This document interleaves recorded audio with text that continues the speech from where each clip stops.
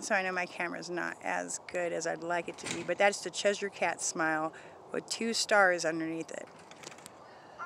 Absolutely amazing.